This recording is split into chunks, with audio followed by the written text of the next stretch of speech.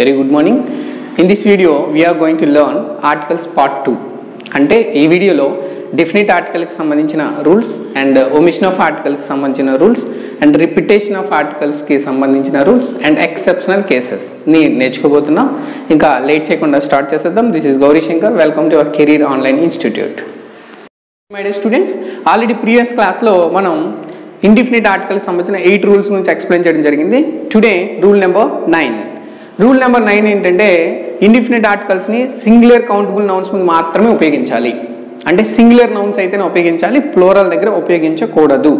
AN indefinite ఆర్టికల్స్ని okay example చూస్తే cat and cats ఉందంటే క్యాట్ ముందు మాత్రం ఉపయోగించాలి క్యాట్స్ ముందు ఉపయోగించకూడదు.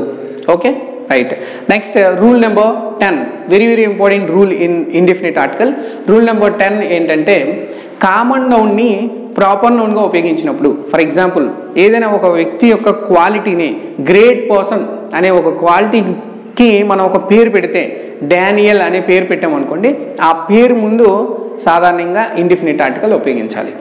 ఎగ్జాంపుల్ ఆల్రెడీ నిన్న చెప్పినప్పుడు ప్రాపర్ నౌన్స్కి మనం ఇండిఫినిట్ ఆర్టికల్ ఉపయోగించకూడదు అని చెప్పాం. రాజు రవి ఇలాంటి పేర్ల ముందు. కానీ ఒక గ్రేట్ పర్సన్ అనే ఒక క్వాలిటీకి మనం ఇప్పుడు పేరు పెట్టాం. డానియల్ అని పేరు పెట్టాం. ఇప్పుడు ఎగ్జాంపుల్లో చూడండి. Dash Daniel come to judgement అని ఇచ్చాడు. ఇస్తే దాని ముందు dash Daniel comes to the judgement అని ఇచ్చాడు. ఆ డానియల్ అంటే అర్థం ఏంటంటే వెరీ వైజ్ మ్యాన్ అని అర్థం. చాలా తెలివైన వాడు అని అర్థం. ఆ తెలివైన వాడు అనే అర్థం వచ్చినట్టుగా మనం ఒక పేరు పెట్టాం డానియల్ అని. కాబట్టి అలాంటి ప్రాపర్ నౌన్ ముందు మనం ఇండిఫినిట్ ఆర్టికల్ ఉపయోగించవచ్చు. That is the rule number ten కాబట్టి ఆన్సర్ ఏమవుతుందంటే a Daniel comes to the judgement okay yes over indefinite articles complete అయ్యాయి. Now you are going to learn definite article very very important concept in articles definite article అంటే ఏంటి? The అనే demonstrative అడ్జెక్టివ్ని మనం definite article అంటాం. Already explain చేయడం జరిగింది. అయితే దీన్ని ఎక్కడ ఉపయోగించాలి అని చెప్పడానికి టోటల్ ట్వంటీ రూల్స్ ఉన్నాయి. We have twenty rules to explain about definite article అయితే డెఫినెట్ ఆర్టికల్ అంటే అర్థం ఏంటి? ఆ డెఫినెట్ అనే పేర్లోనే ఉంది. డెఫినెట్ అంటే అర్థం స్పెసిఫిక్ థింగ్ అని అర్థం అనమాట అంటే ప్రత్యేకమైన ఫలానా ఆ వస్తువు అని చెప్పడానికి మనం డెఫినెట్ ఆర్టికల్ని ఉపయోగిస్తాం. ఎగ్జాంపుల్ ఒక నిన్న చెప్పిన ఎగ్జాంపుల్ నిన్న క్లాస్లో చెప్పిన ఎగ్జాంపులే ఒక పిల్లి వస్తుంది అని చెప్తే సాధారణంగా అది ఇండిఫినెట్ అవుతుంది. లేదు ఆ పిల్లి అని చెప్పాలి అనుకుంటే ఫలానా ఆ వస్తువు ఆ పుస్తకం అని చెప్పాలి అంటే మనం ది అనే ఆర్టికల్ని ఉపయోగిస్తాం. అది బేసిక్ ది కోసం. ఇప్పుడు దాన్ని రూల్ బేస్డ్గా చెప్తాం we had twenty rules in definite article నా rule number one rule number one ఏంటంటే ది అనే ఆర్టికల్ని సింగులర్ దగ్గర కానీ ఫ్లోరల్ దగ్గర కానీ అండ్ అన్కౌంటబుల్ కానీ కౌంటబుల్ కానీ అబ్స్ట్రాక్ట్ కానీ ఎక్కడైనా సరే ది అనే ఆర్టికల్ మనం ఉపయోగించుకోవచ్చు. అంటే నిన్న ఎగ్జాంపుల్లో చెప్పినట్టుగా the cat the cats the bat the bats milk and milk uh, అంటే uncountable noun milk sugar rice వీటి ముందు కూడా మనం ఉపయోగించుకోవచ్చు. కింద ఎక్సైజ్ ఎగ్జాంపుల్స్ ఇస్తున్నా. ఒకసారి చూడండి. Cat bat and milk sugar cats ఇవన్నిటి దగ్గర కూడా మనం ది అనే ఉపయోగించుకోవచ్చు. దీనికి ఎటువంటి కండిషన్స్ కూడా లేవు. బట్ సందర్భాన్ని బట్టి అవి ఏంటనేది రిమైనింగ్ రూల్స్లో వస్తుంది. ఓకే రూల్ నెంబర్ టూ ఏంటంటే before the names of unique things unique things అంటే విశ్వంలో ఏకైకంగా ఉన్న వస్తువుల ముందు వాటి పేర్ల ముందు మనం ది అనే ఆర్టికల్ని ఉపయోగించాలి. డిఫినెట్ ఆర్టికల్ని ఉపయోగించాలి. ఎగ్జాంపుల్ విశ్వంలో ఏకైక థింగ్స్ అంటే ఏంటి? Sun moon earth and ocean అనే నేమ్ ఓసెన్ అనే వర్డ్ ముందు అండ్ సి అనే వర్డ్ ముందు వీటి ముందు మనం డిఎన్ఏ అనే ఆర్టికల్ని ఉపయోగించాలి. స్కై అనేది ఎర్త్ అనేది అండ్ మూన్ ఇవన్నీ కూడా ఏకైకమే కాబట్టి ఓసెన్ అనే పదం ద వర్డ్ ఓసెన్ కూడా సింగిల్ కాబట్టి యూనిక్ థింగ్ కాబట్టి వీటి ముందు మనం ది అనే ఆర్టికల్ని ఉపయోగించాలి. అది rule number two and rule number three rule number three చూడండి. Before the names of musical instruments అంటే సంగీత వాయిద్యాల ముందు మనం ది అనే ఆర్టికల్ని ఉపయోగించాలి. Example dash guitar dash violin dash piano వీటి ముందు మనం ది అనే ఆర్టికల్ని ఉపయోగిస్తాం. Next rule number four rule number four before the names of epics అంటే మహాగ్రంథాల పేర్లు ముందు మనం ది అనే ఆర్టికల్ని ఉపయోగించాలి. మహాగ్రంథాల పేర్లు అంటే the dash Ramayana dash Mahabharata dash Bible dash Quran ఇవన్నిటి ముందు కూడా మహాగ్రంథాల ముందు మనం ది అనే ఆర్టికల్ని ఉపయోగించాలి. Okay?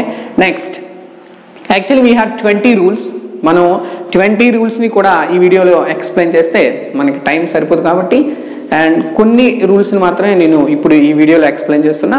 రిమైనింగ్ వాటిని కింద డిస్క్రిప్షన్లో పీడిఎఫ్ కింద ఇస్తాను. దాన్ని చూసి నేర్చుకోండి.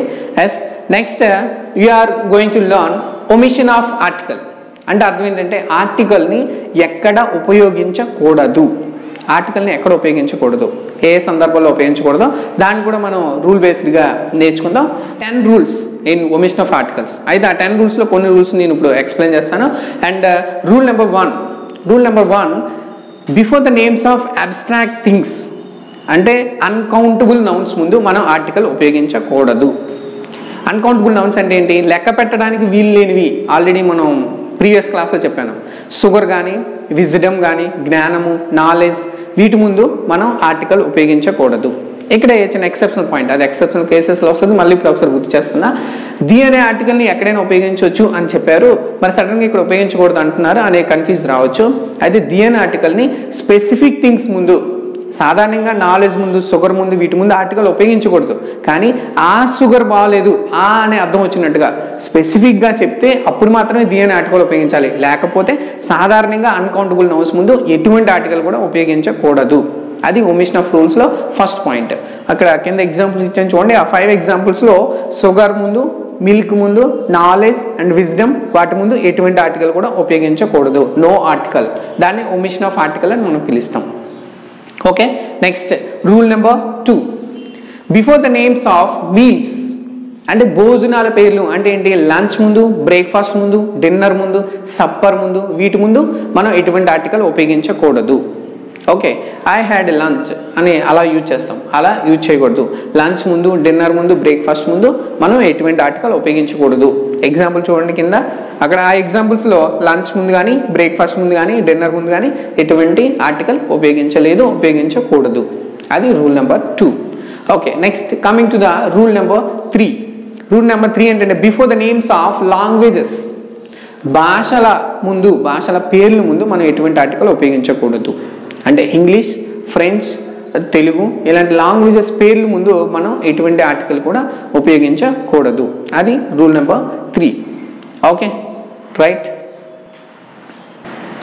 Okay ఇంకొక రూల్ కూడా చెప్తాను. Rule number four.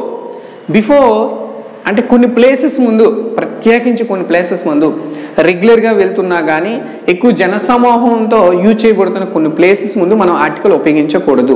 అవి ఏంటంటే స్కూల్ ముందు కానీ కాలేజ్ ముందు కానీ యూనివర్సిటీ ముందు కానీ అండ్ చర్చ్ ముందు టెంపుల్ ముందు అండ్ బెడ్ ఇలాంటి ప్లేసెస్ దగ్గర మనం ఆర్టికల్ ఉపయోగించకూడదు. ఓకే ఎగ్జాంపుల్స్ కూడా కింద ఇస్తున్నా చూడండి. I'm going to dash school I'm going to dash college అని ఇచ్చినప్పుడు మనం ఎటువంటి ఆర్టికల్ ఉపయోగించకూడదు ఆ ప్లేసెస్ ముందు. I'm going to school I'm going to college I'm going to church every Sunday అలా చెప్తాం అనమాట ఆర్టికల్ ఉపయోగించవలసిన అవసరం లేదు. Okay concept repetition of article అంటే ఒకే సెంటెన్స్లో ఆర్టికల్ మళ్ళీ రిపీట్ అయినట్లయితే దాన్ని ఎలా రెడ్యూస్ చేయాలి? ఉపయోగించవచ్చా రెండో దాన్ని ఏమైనా తీయాలా? ఒకటో దాన్ని కట్ చేయాలా? అనే దాన్ని తెలుసుకునే ప్రయత్నం ఈ కాన్సెప్ట్లో చేద్దాం. అయితే ఏంటంటే దీనిలో ఫైవ్ రూల్స్ ఉన్నాయి. దీనిలో ఒక రెండు రూల్స్ని ఈ వీడియోలో చెప్పే ప్రయత్నం చేస్తాను. వీడియో లెంత్ తగ్గించడానికి మాత్రమే. అది గమనించగలరు? Okay rule number one in repetition of articles rule number one ఏంటంటే ఒకే వ్యక్తి కానీ వస్తువు కానీ రెండు క్వాలిటీస్ ఉంటాయి ఇచ్చిన సెంటెన్స్లో ఒక వ్యక్తిగా రెండు క్వాలిటీస్ ఉన్నట్లయితే అదే రెండు కలర్ అయినా అవ్వచ్చు క్వాలిటీ అవ్వచ్చు క్యారెక్టర్ అవ్వచ్చు ఏదైనా సరే ఒకే వ్యక్తికి రెండు ఉన్నట్లయితే అదే సెంటెన్స్లో ఆ రిపీటెన్స్ని తగ్గించడానికి రెండు క్వాలిటీస్ ముందు కూడా మనం ఆర్టికల్ ఉపయోగించవలసిన అవసరం లేదు. ఆ రెండిటిలో మొదటి క్వాలిటీ దగ్గర ఆర్టికల్ ఉపయోగిస్తే సరిపోతుంది. ఎగ్జాంపుల్ చూద్దాం. I have a black and a white dog అని ఇచ్చాను అనుకోండి. యాక్చువల్గా అక్కడ డాగ్ యొక్క కలర్ గురించి మాట్లాడుతున్నాం. అలా మాట్లాడినప్పుడు ఒకే డాగ్కి రెండు కలర్స్ కూడా ఉన్నాయి. వైట్ అండ్ బ్లాక్ కూడా అదే డాగ్లో ఉన్నాయి. అలా ఉన్నప్పుడు నేను a white and a black అని యూజ్ చేశాను. అలా రెండు సార్లు ఆర్టికల్ని రిపీట్ చేయవలసిన అవసరం లేదు. ఆ రెండిట్లో మొదటి క్వాలిటీ దగ్గర ఉపయోగిస్తే సరిపోతుంది. కాబట్టి ఫస్ట్ సెంటెన్స్ రాంగ్ అవుతుంది. Correct sentence is I have a black and white dog అని యూజ్ చేస్తే సరిపోతుంది. ఓకే కాబట్టి అర్థమైంది అనుకుంటున్నాను? అంటే ఒకే డాగ్కి అక్కడ ఇచ్చిన ఒకే క్యారెక్టర్కి ఒకే వ్యక్తికి రెండు క్వాలిటీస్ ఉన్నాయి. వైట్ అండ్ బ్లాక్ రెండు క్వాలిటీస్ ఒకే వ్యక్తికి ఉన్నట్లయితే ఆ రెండిట్లో ఒకటో క్వాలిటీ దగ్గర ఆర్టికల్ ఉపయోగిస్తే సరిపోతుంది. ఒకవేళ అలా ఉపయోగించలేదు ఇది బ్యాంక్ టెస్టులు రాస్తున్న వాళ్ళకి క్లోజ్ టెస్ట్లో వస్తుంది. సార్ మనకి ఎలా తెలుస్తుంది? ఒకే కలర్ ఉంది రెండు కలర్లు ఉన్నాయి అది ఎలా తెలుస్తుంది అని మనం సాధారణంగా ఈ డిఎస్సి అండ్ చిన్న చిన్న ఎగ్జామ్స్ రాసిన వాళ్ళకి డౌట్లు వస్తాయి.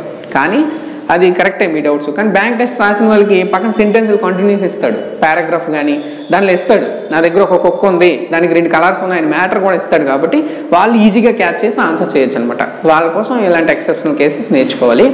అయితే ఒకే వ్యక్తికి రెండు క్వాలిటీలు ఉన్నప్పుడు మొదటి క్వాలిటీ దగ్గర ఉపయోగిస్తే సరిపోతుంది. అలా ఉపయోగించకపోతే ఏమవుతుందంటే మీనింగ్ రెండు కుక్కలనే అయిపోద్ది అనమాట I have a white and a black dog ఒక వైట్ డాగ్ ఒక బ్లాక్ డాగ్ రెండు డాగ్స్ ఉన్నట్టు అర్థం. ఓకే ఆ మీనింగ్ని మనం రెక్టిఫై చేయడానికి ఒకే డాగ్ ఉన్నట్లయితే a white and black dog అని రాస్తే సరిపోతుంది. ఓకే అది రూల్ నెంబర్ వన్. రెప్యుటేషన్ని ఎలా తగ్గించాలి అని. ఓకే నా rule number two. Rule number two ఏంటంటే ఒకే వ్యక్తికి రెండు పోస్టులు ఉన్నట్లయితే అతని జాబ్ ప్రొఫైల్లో ఒకే వ్యక్తికి రెండు పోస్టులు ఉన్నాయి. రెండు పోస్టులు ఉన్నట్లయితే ఆ రెండు పోస్టులతో కలిపి ఒక కంటిన్యూషన్ సెంటెన్స్ తయారు చేసినప్పుడు మొదటి పోస్ట్ దగ్గర ఆర్టికల్ ఉపయోగిస్తే సరిపోతుంది. Same like that rule number one లాగే. కాకపోతే ఇది వ్యక్తులు దానికి సంబంధించిన పోస్టుల గురించి మాట్లాడుతున్నాం అంతే. For example the secretary and treasurer came to here అని ఉందనుకోండి. ది సెక్రటరీ అండ్ ట్రెజరర్ అంటే ఏంటి? ఒకే వ్యక్తి. వస్తున్న వ్యక్తి ఒకడే. కానీ అతను రెండు పోస్టుల్లో ఉన్నాడు అనమాట సెక్రటరీ కింద పనిచేస్తున్నాడు ట్రెజరర్ కింద ఆయనే పనిచేస్తున్నాడు. అలాంటప్పుడు సెక్రటరీ అనేది ఒక పోస్ట్ ట్రెజర్ అనేది ఒక పోస్ట్. ఆ రెంటిలో విడివిడిగా ఆర్టికల్ ఉపయోగించవలసిన అవసరం లేదు. అలాంటి రిపిటేషన్ ఉన్నట్లయితే కరెక్షన్ ఆఫ్ సెంటెన్సెస్లో బ్యాంకింగ్లో ఇప్పుడు ప్రెజెంట్ డిఎస్సీలో కూడా ఇస్తున్నాడు కరెక్షన్ ఆఫ్ సెంటెన్సెస్లో ఇస్తాడు. అంటే the secretary and the treasurer came to here అని ఇస్తాడు.